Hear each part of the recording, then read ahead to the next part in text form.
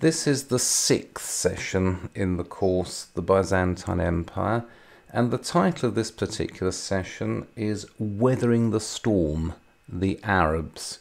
This slide is of the great Battle of Lalakeion in 863, which is the definitive end of any Arab attempt at conquering the remaining territories of the empire.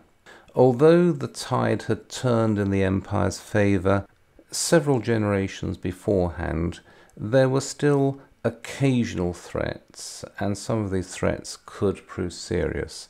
This was the victory that ended any hope of continued Arab attacks against the empire. But this comes right at the end of our period.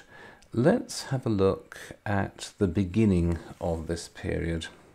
We go back to not quite where we finished last week, we go back to the middle of where we were last week this is the rough geography of the Mediterranean world around 615.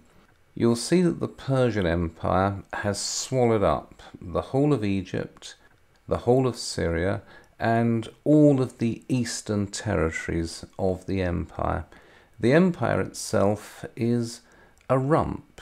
It is the territory of what is now Western Turkey, and of the Balkans, with a number of possessions in Italy and a large but incalculable part of North Africa, plus possibly, we don't know really, but plus possibly a certain amount of southern Spain. It looks as though the empire is about to disintegrate. However, after 622, the Emperor Heraclius manages to pull things together and he inflicts a number of surprising but devastating defeats on the Persians. The Persians are stretched as tight as the Byzantines and they are not able to recover from these defeats. Their entire state system collapses. The Persian Empire implodes. When peace is made, it is made on the basis of the status quo ante, and so the empire does not acquire any new territories. Instead, it regains all the territories that it had lost after 604, and it has what seems to be the inestimable advantage over previous generations that it no longer faced a large and united and powerful Persian Empire to its east. It no longer faced any particular threat on its borders, unless, of course, you take the Lombards as a threat. But by this period, the Lombards have taken as much of Italy as they can take for the moment and it looks as though the empire is at peace. It isn't. What has happened is that in the Arabian Peninsula, a part of the Near East to which nobody has paid any attention for a long time, it is a place from which raiders occasionally emerge. It is a place where you recruit mercenary soldiers it is a place through which you sometimes travel in order to do business.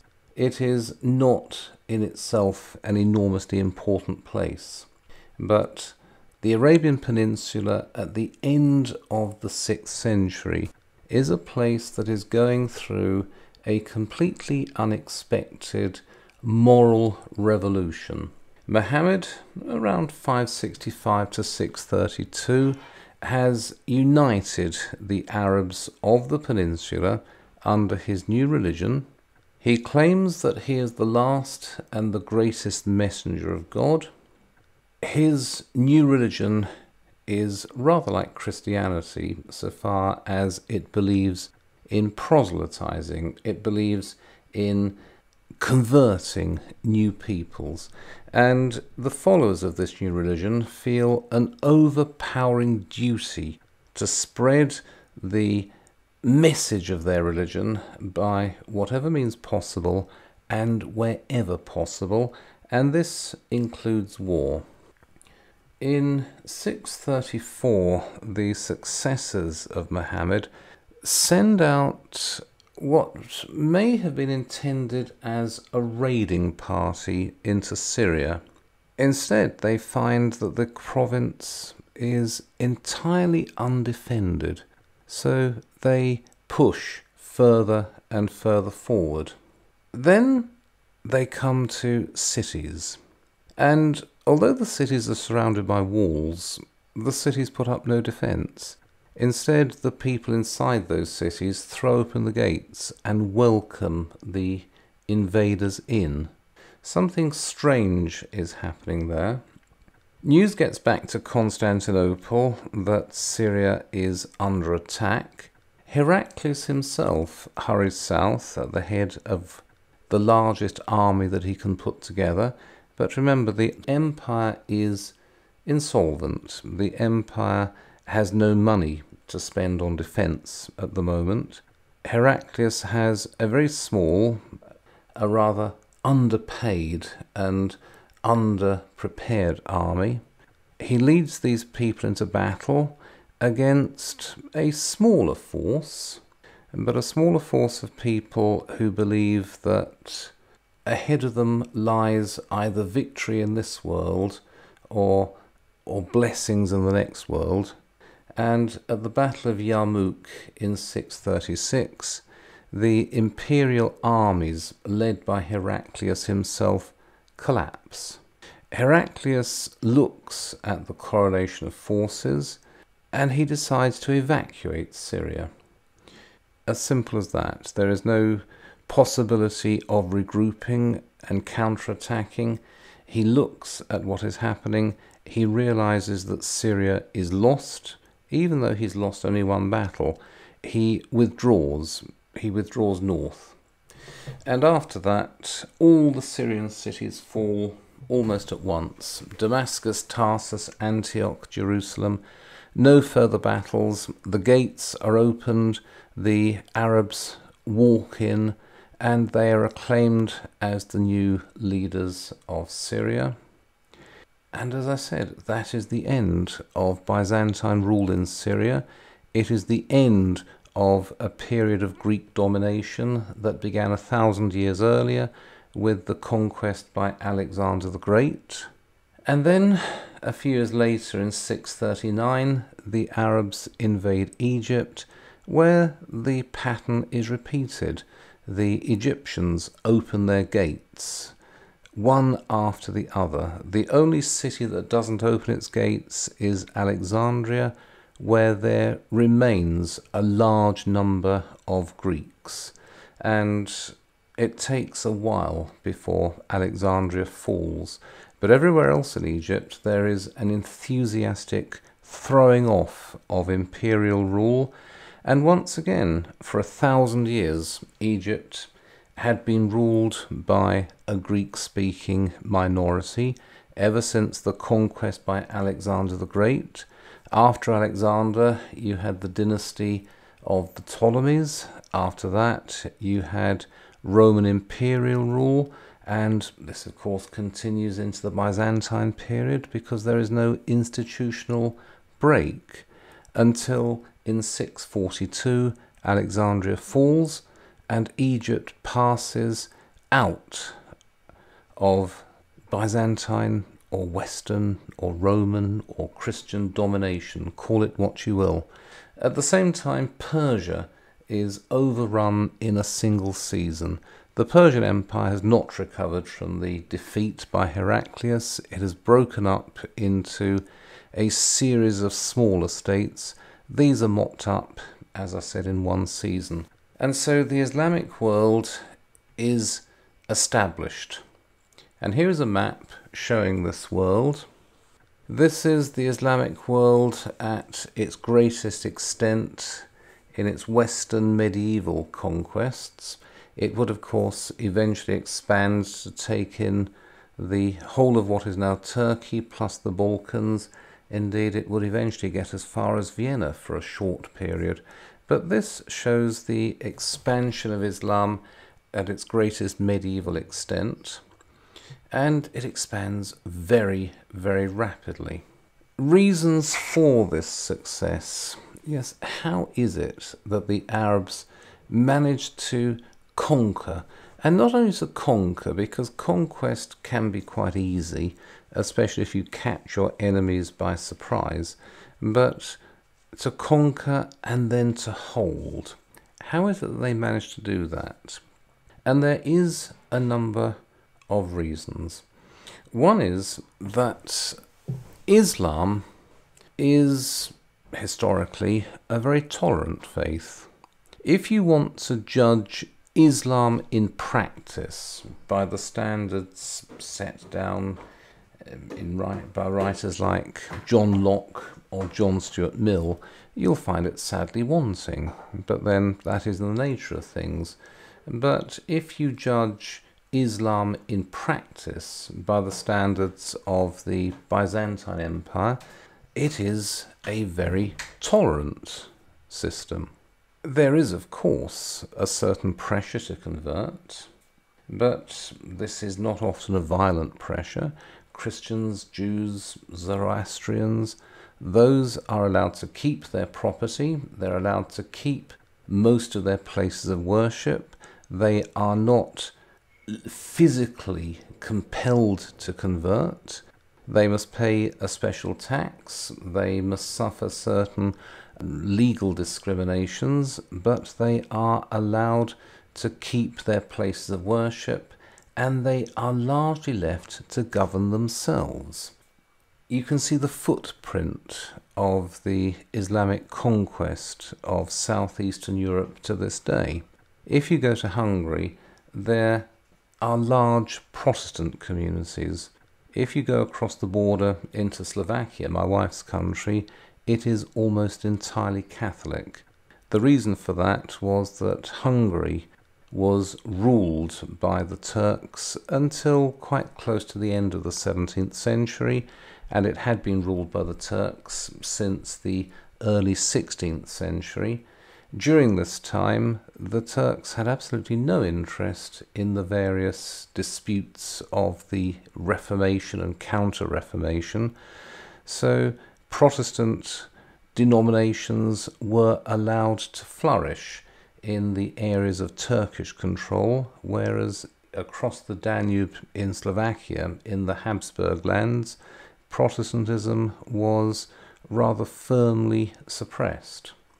Remember that although the empire was not always a heavy handed persecutor, it had persecuted the Monophysites and the Monophysites found that the Arabs offered them complete religious toleration. As such, they accepted it. The Arabs also, in the early period at least, offered much lower taxes and much lower economic regulation, and the particular trend of their conquests opened up a very large free trade area extending from the shores of the Mediterranean right down to the Indian Ocean. Further reasons the Syrian and Egyptian natives they were linguistically and culturally rather similar to the Arabs. And I've said quite a lot about the possible overlap between Monophysite Christianity and most of the early variants of Islam. The Greek language and Greek communities don't vanish overnight from these green areas conquered by the Arabs. Greek remains the official language of Egypt for well over a hundred years after the Arab conquest. It also remains the official language of Syria for a long time after the initial conquest. There were still rather large Greek communities in Egypt as late as 1967 when President Nasser expelled all the Greeks from Alexandria. So the Greek language and the Greek peoples settled in these areas do not disappear. Indeed, it is likely that Egypt and Syria themselves remained majority Christian regions until the Black Death, when you have another reset. But whatever the case, once the Arabs had conquered Egypt and Syria, it turned out that there was no way back. There was no chance of an imperial reconquest.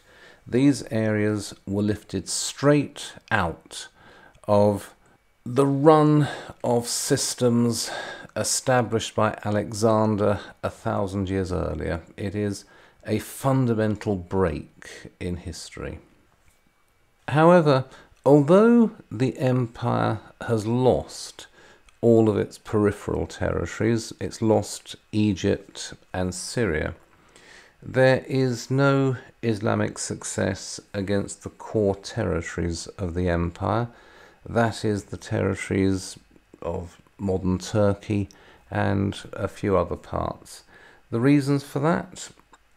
One is that these areas are now Greek in language and they are Orthodox in faith. And remember what I spoke about last week the reforms of Heraclius. These reforms have given ordinary people a stake in the survival of the empire, and perhaps they don't regard it as an empire, they regard it as the survival of their nation. The Roman Empire was a vast multinational and therefore a vast multicultural agglomeration, whereas by about 650 the core territories of what we must now call the Byzantine Empire are remarkably homogeneous in language and faith. These are Greek speaking Orthodox Christians, and they will fight for their nation, and in particular, they will fight for their land, because remember, in the new order of things, ordinary people have inalienable grants of land in exchange for military service. They will fight, and they did fight. A further consideration is that after the first few generations after the first explosion, the Arabs, or perhaps Islam we should now call it, because it embraces more than just the Arabs now, whatever you want to call it, the Arabs or Islam, it loses its first impetus. You might say that the caliphs become decadent, they become degenerate.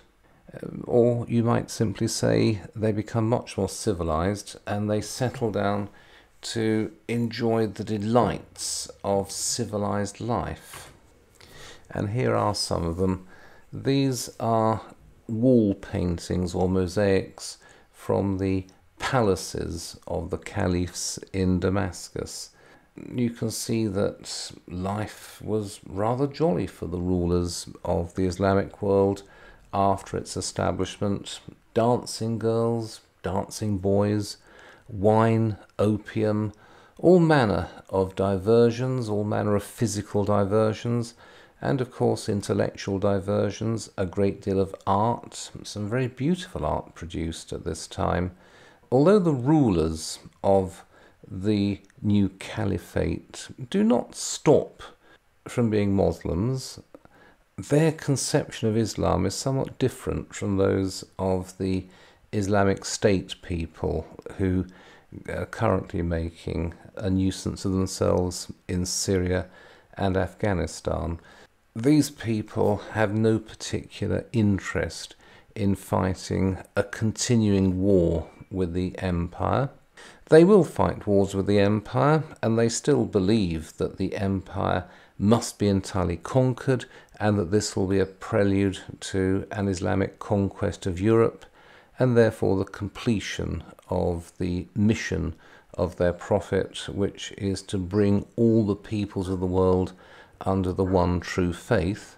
But although they are willing to pay lip service to this ambition, and although on at least two occasions they are willing to give it a serious go, it is for the most part a secondary ambition.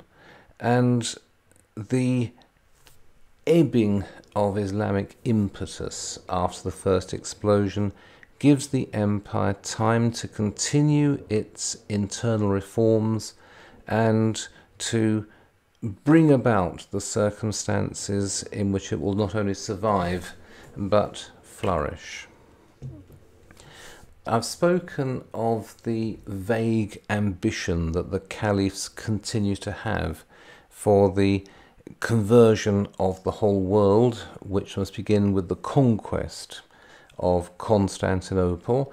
And this brings me to the first siege of Constantinople in 674 to 678. The emperor at this time was Constantine IV, one of the great grandsons, I believe, of Heraclius. The empire has been through a period of internal chaos. There has been a civil war, and whoever reigns in Constantinople does not sit very securely on his throne. The caliphs take advantage of this in 674. They raise an enormous army for a knockout blow against the empire. Their Caliph Muawiyah, a man who himself is of somewhat disputed legitimacy as the Caliph for reasons that it would take a very long time to explain squeezes the largest army he can manage together from the immense resources of his empire. He sends them against the empire. This army smashes straight across the borders. It rolls over the peasant armies which have so far secured the empire from conquest. He hurries forward to the capital, to Constantinople, and at the same time, and it is it may be a coordinated push, the northern barbarians, the Avars and the Slavs, they invade the Danube provinces of the empire, and the city, Constantinople, for a while becomes effectively the empire itself. Nearly all the other territories, except for North Africa and the Mediterranean islands, are taken from the empire, the borders of the empire, for what it matters, shrink to the walls of Constantinople itself, which is now under close siege. The Islamic fleets sail at will through the Propontis. Constantinople goes through a four year siege. Food begins to run short because the empire has lost control of the seas there are proposals that before the final storm of the city, which is surely not that long in coming, the emperor will dress himself up as a common sailor and somehow slip out past the Islamic blockade and get himself to Carthage and carry on the empire's resistance from the west. But it does look as though everything is up for the empire. In the previous generation, it had lost Egypt and Syria. In this generation, it seemed likely to lose everything else. And then something completely unexpected happens. Unfortunately, we don't have very good contemporary histories of what did happen. But something like this happened. The Islamic navies are absolutely dominant they control all the seas around Constantinople. They control the Black Sea, they control the Aegean Sea, they control the Propontis or the Sea of Marmara. They have full naval domination. All that they don't dominate is the Golden Horn, which is the harbour of Constantinople, and that is secured by a large bronze chain that prevents ships from entering. At some time in 678, that chain is lowered so that a small fleet is able to sail out of the Golden Horn and to direct itself straight at the main Islamic fleet. This small flotilla of warships gets closer and closer and closer to the main Islamic navy. I should imagine that the Arab captains were looking at this fleet, wondering what was going to happen. Had these people come to surrender? Was it to be some last futile resistance? What was going to happen? And then what happens is this the Byzantines use their new weapon against the Islamic fleet. It's called Greek fire. It's one of the great technological advances of the Middle Ages. We don't know entirely what it is because it was at the time a very closely guarded secret. The story is that it was invented by a man called Callinicos. He took his invention to the emperor. It was tried out and then it took a couple of years of research and development, first of all to develop this liquid and then to develop a delivery mechanism. But when it was first tried out at the first siege of Constantinople, it destroyed the entire Islamic navy, as spat out by the bronze pipes on this small flotilla. Greek fire would shoot up to a quarter of a mile across the water. It would stick to wooden ships and burn them to the waterline. There was no putting out of the fire. If you poured water on the fire, the, the water would burn. The fire, when it fell onto the sea, would just lie there in burning patches. Eventually, the Arabs discover that urine can put out the fire sometimes, but not perfectly. But at first, this is a completely devastating weapon to which there is no answer. As I said, we don't know much for certain about its composition. It must be petrol based, it must be oil based. A great deal of effort has gone in the past century or so into trying to reconstruct not only Greek fire itself, but the propelling weapons. And well, there's another representation of the effect that this stuff has on ships. Now, coming back to the Greek fire, this is a modern representation of it on the left. On the right, you have an interesting further development, a handheld flamethrower. The archaeology doesn't tell us much about this because we've never found any of these machines. We have to put them together from guesswork. Here is a rough reconstruction of it. You have a boiler, you have a large kettle filled with some kind of oil-based solution. Underneath this you have a fire which is heating it causing it to give off a large amount of gas which is confined within this kettle. You have a syringe or a pump on the left.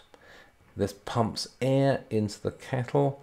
The vapour, and I think the vapour would have come out through the top rather than the bottom on this illustration. It doesn't matter.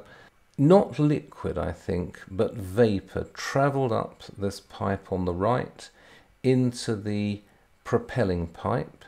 You set fire to the end of the propelling pipe and give a good pump on that left syringe and that will send out a jet of burning gas or burning gaseous liquid and as I said it will shoot up to a quarter of a mile across the water. It is a completely unstoppable weapon there is no defense against it. If you find that the enemy ships in a sea battle are equipped with Greek fire, all you can do is turn about and sail away or row away as quickly as you can and hope that you will not be pursued. Greek fire can also be used on land. Ships can sail in close to the land and let this loose on an army that is conveniently close, or you can use it in land based heavy artillery. Plus, if you look at that picture again, let me go back to it. Handheld projecting weapons, it could be used as some kind of early flamethrower. It could also be buried in pots and used as a kind of minefield. You could booby trap abandoned fortifications so that it was on a long fuse as the enemy rushes into what it thinks is an abandoned fortification.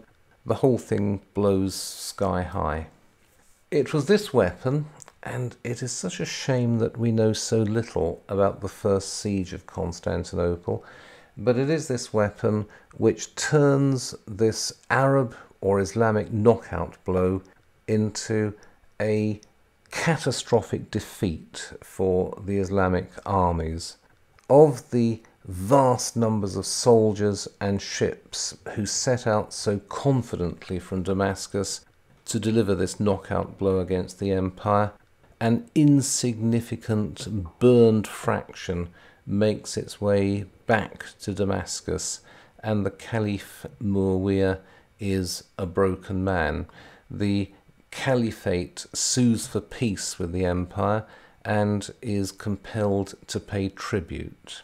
So the empire has survived the first real attempt on the empire itself, not an attempt on taking provinces away from the empire, as had happened in the 630s with the loss of Syria and then Egypt, and later on with the loss that I won't discuss of North Africa.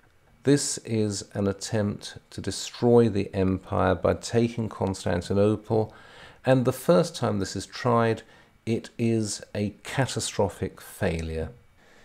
That, however, is not the end of the Islamic threat to the empire. If we go forward now from the 670s to 717, there is another attempt at a knockout blow a generation later.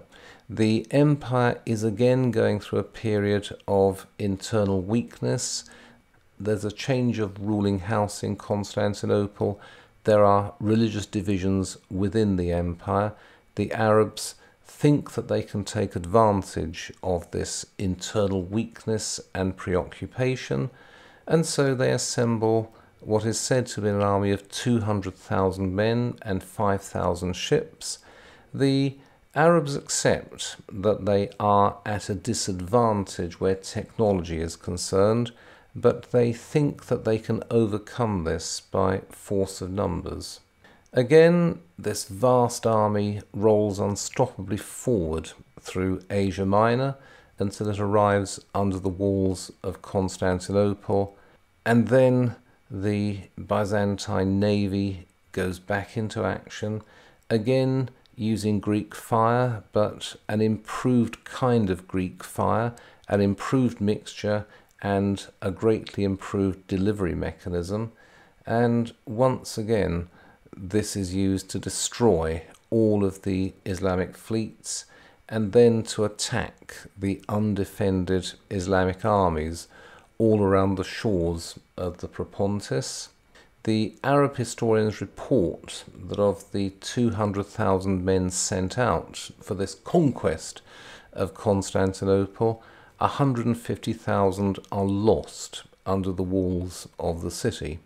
The Arabs turn up to besiege the city, they find themselves under siege, and they find themselves resorting to cannibalism.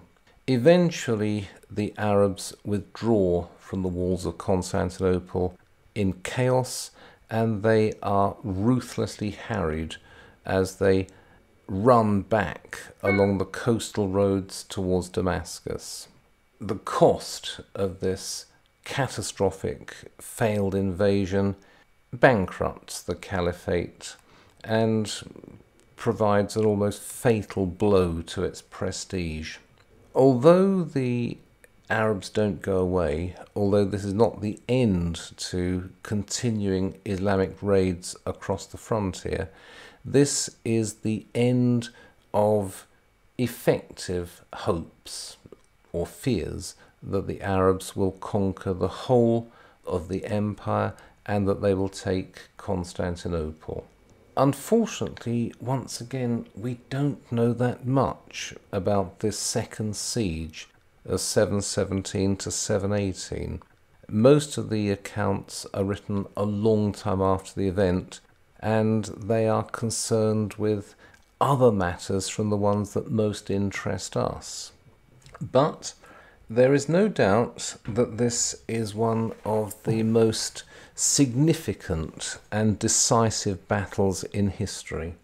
In its first century, in its first 80 years, let's say, Islam has conquered every enemy it encounters. It has destroyed Persia, it has destroyed the Visigoths, it has destroyed the Central Asian confederacies. It is spreading unchecked in every direction. The only enemy it fails to defeat is the Empire, and not only does it fail to defeat the Empire, but the Empire inflicts two very significant defeats upon it. These are the only worthwhile defeats that Islam receives in its first 80 years of existence. You might say that the much better known victory of the Franks at the Battle of Tours in 732 is the first real defeat that the Muslims receive. But bear in mind that the Muslims are at the end of supply chains that are about 3,000 miles long, immensely long supply chains. And even if you assume that the base from which they're launching their operations is Islamic Spain, it's still a, a, long way to go across the Pyrenees into France. Whereas Constantinople is right on the border with the Islamic world. The Arabs or the caliphs or the Islamic rulers are able to assemble whatever forces they can at leisure and they're able to direct them from 10 or 20 days' march. And even so, they fail. So it is a series of decisive victories, and these help to shape the rest of the Middle Ages. And what this means is that the empire survives. The new ruling house, Isaurian dynasty, this rules the empire from 717 until 802. That's nearly a century. It saves and then stabilizes the empire. It maintains and continues the whole series of radical reforms begun by Heraclius a hundred years earlier. And I said last week that if you had fallen asleep in the year 500 and you'd woken up in the year 700 in the empire, you would have found a totally different world. And yes, it is a changed empire. The fact that the empire survives does not mean that anything particularly recognizable about the empire survives. The reason the empire does survive is that it is a radically changed empire. Most obviously, the senatorial aristocracy has entirely disappeared. The emperors keep up an outward show of autocracy. The emperor continues to be carried around Constantinople dressed in purple robes while people sing hymns of praise to his divine majesty. But in effect, the emperor is accountable to the people and to the church. The empire is dominated by a greatly reduced imperial bureaucracy. It's dominated by the church and it's dominated by peasant communes that are self governing, that are untroubled by the central authorities except when it's necessary to provide men for armies of defence. the cities shrivel, they fall into ruin, and that's where they remain until the archaeologists begin digging them up in the 19th century. Those cities which don't disappear, cities like Thessalonica, Corinth, Ephesus, and so on, those are greatly downsized. Many of them shrink from large cities of 50 or 150,000 people all the way down to small towns of 5,000 and sometimes to the status of walled villages. Ephesus, for example, the traditional area of Ephesus was abandoned after about 650. The entire population, the entire surviving population of Ephesus, abandoned the traditional site of Ephesus and moved up a hill to build a citadel, and that was Ephesus for the next several centuries. Constantinople itself, we don't know that much about the medieval city, but there is reason to believe that the city fell from a population of not far short of a million to a population of about 70 or maybe 50,000 people and that most of the city inside the walls was first of all in ruins and then given over to various kinds of market gardening. And that even the ceremonial centre of the city uh, shrank. It shrank to the main churches and a few other public buildings. Many of the great palaces and other considerable buildings that had been put there between Constantine and Justinian were allowed to fall into ruin or they were made into quarries for improving the, the, the, fortifications of the city. The long line of classical scholarship that begins with the Alexandrian scholars of about 300 BC comes to an end there are no significant losses of ancient literature because papyrus has been replaced by parchment and the libraries continue to stand. But it does seem that for generation after generation, the libraries were maintained but largely unvisited. And within this much reduced or downsized empire with a much smaller population and a radically different social structure. You have, first of all, the end of the long decline that begins in the reign of Justinian, and then you have at first a slow and almost unnoticed recovery, which steadily firms itself until by about the middle of the ninth century, the empire has re established itself as the greatest and richest state in the eastern Mediterranean world. But that is another story. So, what we've looked at in the past few weeks is how the Roman Empire that we know and recognize, the later Roman Empire, let's say, is deliberately broken apart. Some parts of it are allowed to fall away or are stripped away, but within the core territories, most of the defining institutions of the later Roman Empire, a large bureaucracy, a large landed nobility, and a substantially urban civilization disappear and are replaced by a very different kind of civilization, a civilization that is still Greek and is still Orthodox Christian, indeed, that is much more fervently Greek and much, much more fervently Orthodox Christian than before. But a Greek and a Christian population which is fundamentally different from anything that would have been recognized by Constantine or his successors or by Justinian. But the empire has survived.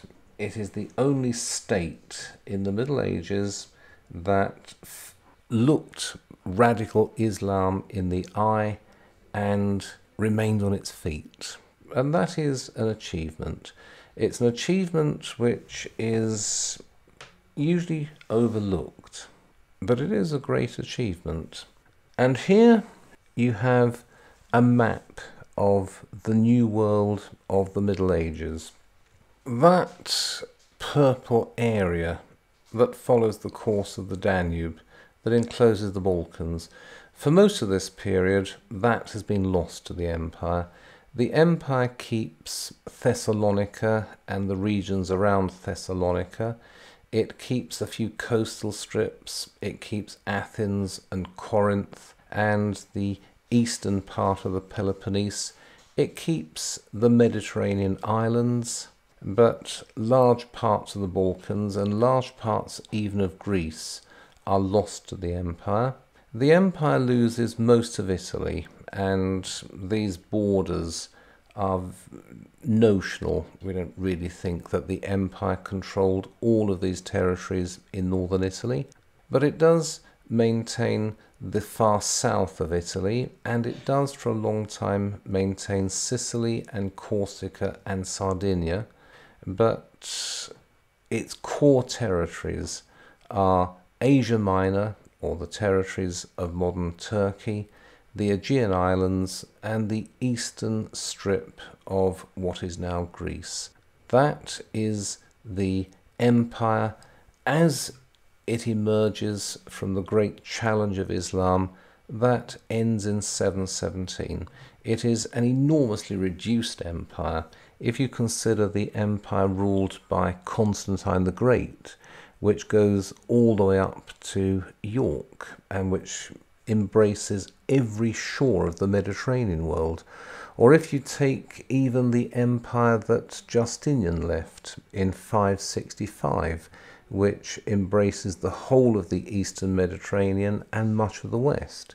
This is a greatly reduced empire, but it is an empire within which a population of Greek speaking Orthodox Christians maintain their way of life and are eventually able to turn their empire once again into the richest and most powerful state in the Mediterranean world, which is what it will remain until the end of the 11th century and perhaps until the end of the 12th century. So that's not all I have to say, but that's all I have to say based on these slides. So let me now give way to questions or comments. Let me come out of the slideshow and let me stop sharing screen. Any questions or comments?